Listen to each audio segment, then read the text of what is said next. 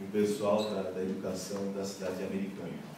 Nada mais é do que nós estarmos cumprindo a nossa obrigação, muito embora nós saibamos a dificuldade que vai ser para nós, administrativamente falando, é, do ponto de vista de contratação, de, desse comprometimento na folha, mas nós sabemos que esse é o tipo de investimento e de trabalho bom, porque ele é direto no futuro da cidade, porque a gente está falando da criançada, estamos falando da, daquelas crianças que vão estar fazendo a cidade de amanhã.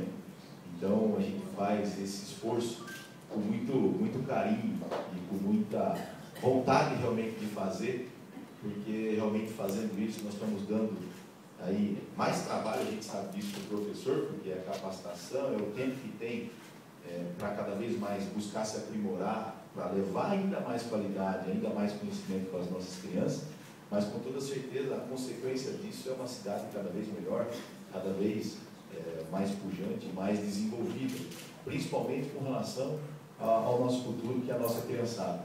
Né? Então, eu queria aqui parabenizar todos vocês e publicamente fazer um agradecimento por tudo aquilo que vocês têm feito, a dedicação que cada um tem dado todos os dias aí para as nossas crianças. Realmente eu não canso, toda vez que eu falo com o Luciano, o Luciano vai sempre lá e cobre, batalha, fala, vamos ter que dar um jeito nisso aqui.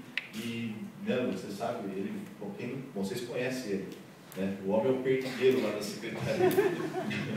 então, não tem dinheiro, ele vai lá na fazenda, ele acha. Aí não dá para fazer nada no jurídico, ele vai lá no jurídico e ele dá jeito.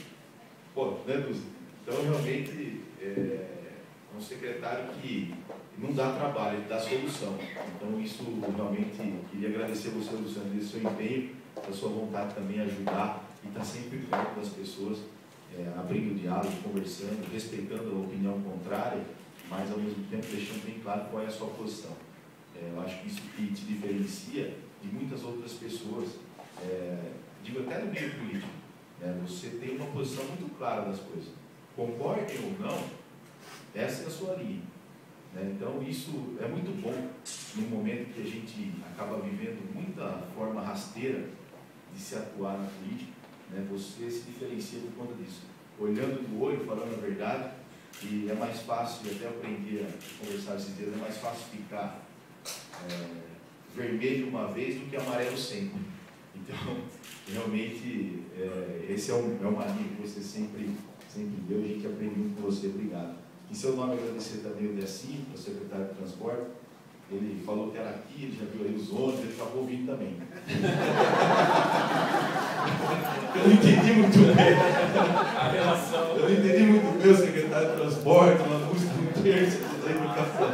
Mas enfim, a hora que eu cheguei aqui, eu falei, acho que é por conta da garagem aí.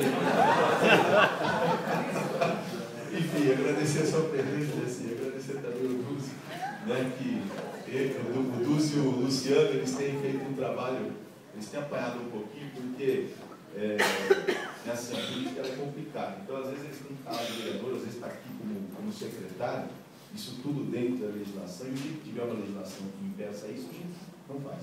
Né? Mas enquanto é possível, e tem dado conta do recado, eles são trabalhadores, nesse sentido, têm conseguido fazer isso, vamos continuar nessa linha, até porque realmente para evitar esse vai e vem aí que, que de, de, concepção política que acaba muitas vezes atrapalhando a cidade. E eu queria aqui, na verdade, é, agradecer vocês, dizer, eu fiquei muito feliz de ver vocês, depois você passa esse seu regime aí para mim.